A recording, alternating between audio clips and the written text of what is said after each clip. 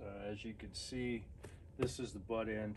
This is where the um, hinge wood was, where the tree was falling, and um, then it they just cut all this taper out, and we're gonna make a chair out of it. So let's get started.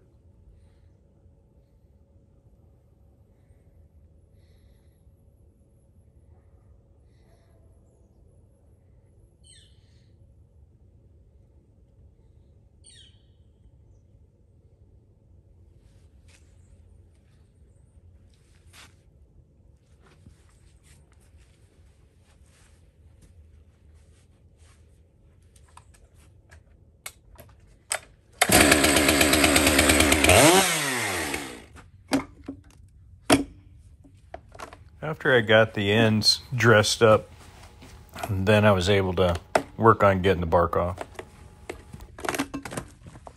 I'm removing the bark here to save wear and tear on the sawmill blades. The bark always holds a lot of dirt and it holds also rocks occasionally from hauling them uh, from wherever they were on our property up to where the sawmill is.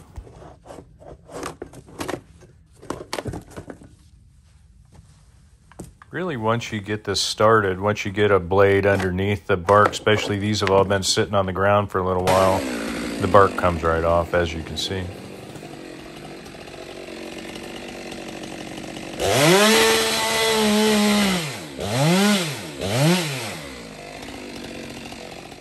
I'll use the sawmill to meet up with this cut I just did with the chainsaw, and this will actually be the seat bottom where you're sitting on.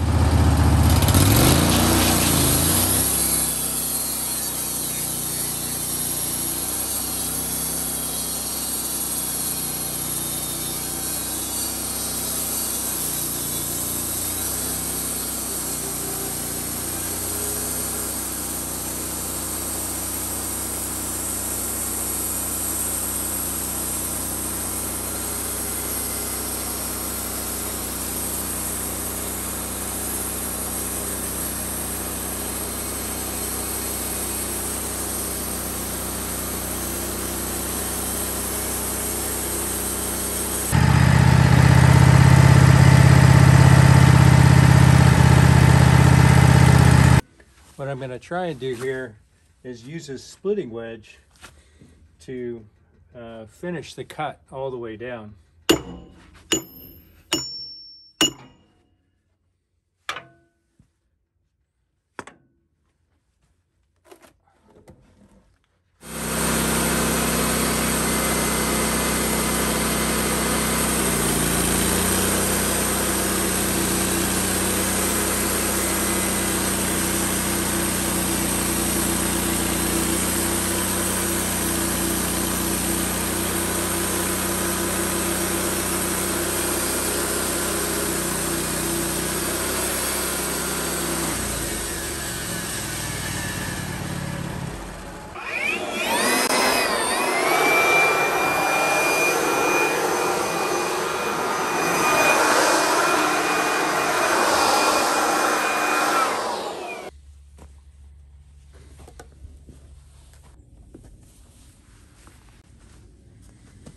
try and hold it a little bit tighter this time.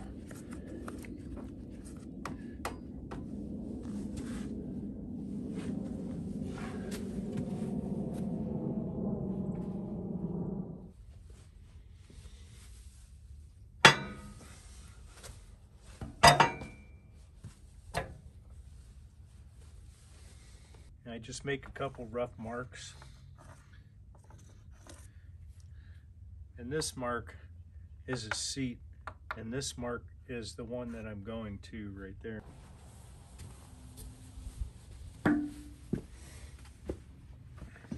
Here I just use the jack to get it the whole piece level. And you can see here I'm just using regular bubble level. And then one of the offcuts that cut off yesterday uh, I just put a couple wood screws in the end and then that'll hold it at a platform. Now I just have to adjust um, the piece so the saw throat will be able to accept it. and then we'll be on our way.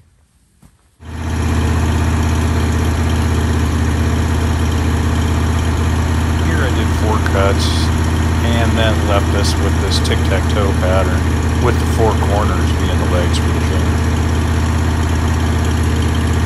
Now what I'm going to do is go around the bottom portion that is going to be the legs of the chair and once I get that accomplished make sure I'm going to mark it all so when I'm taking material out I make sure that I'm not taking out one of the legs.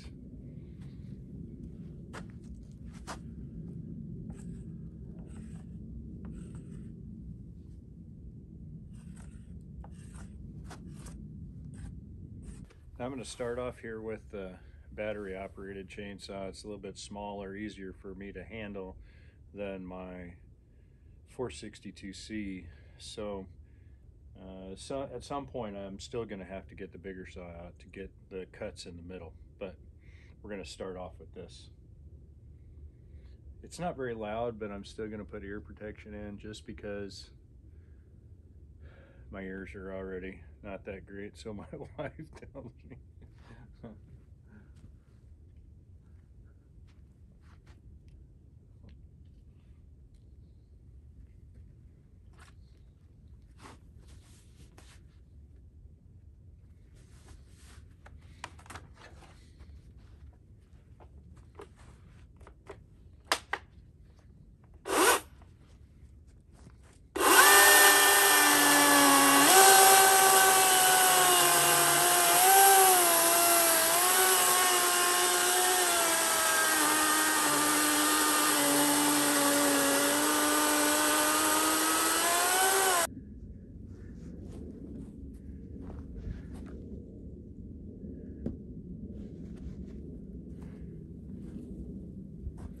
So I got one chunk out and four more to go.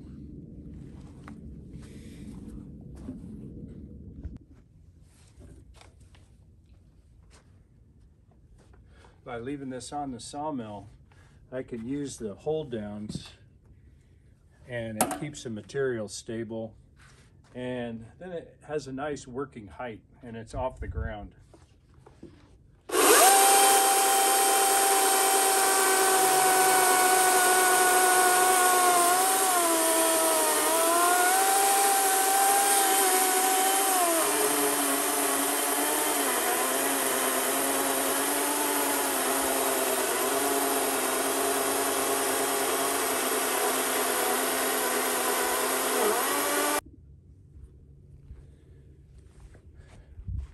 Reached reached the limit with this DeWalt. So now we're gonna have to move to the 462C to get this last chunk out. I uh, reached as far as I could from both sides with the 16 inch bar and uh, you could see this one's a little bit bigger.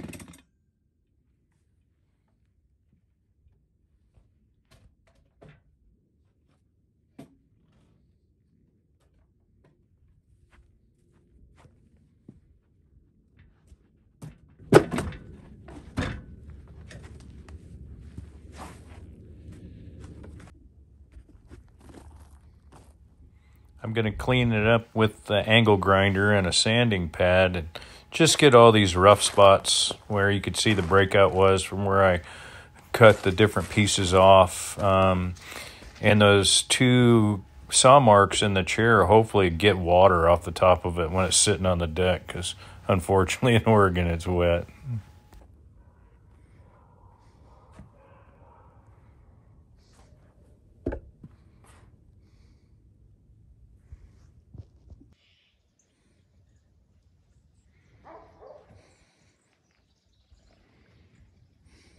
This is the finished product after touching up with the angle grinder and moving it to the front porch with the tractor, of course.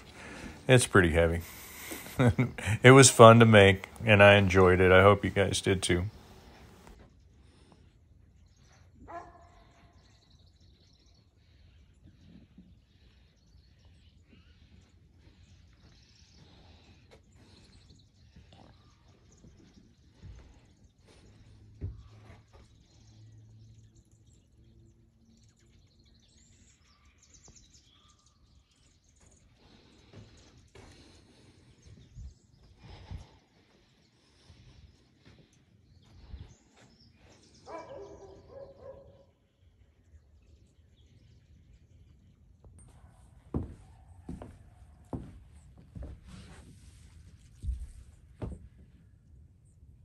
Well, with the sawmill and a couple chainsaws, turned a offcut from a log that went to the sawmill into a single piece chair. That's it for Trout Creek Woodworks. Thanks for joining. Living life outside.